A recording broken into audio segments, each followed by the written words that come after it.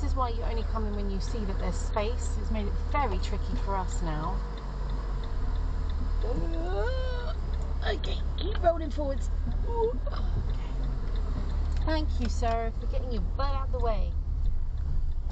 Yeah, that is why you don't enter it. You couldn't see a thing. How dangerous. oh, that's annoying. I wanted her space, she hasn't even made an effort to move over. My lord, lady! Oh my god!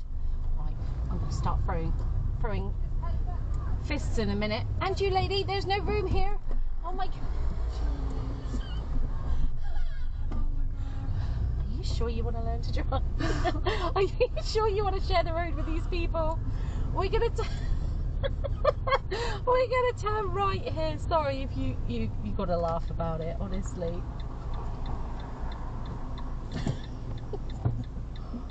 it's a lovely sentiment. Moving over for someone, but then move over properly.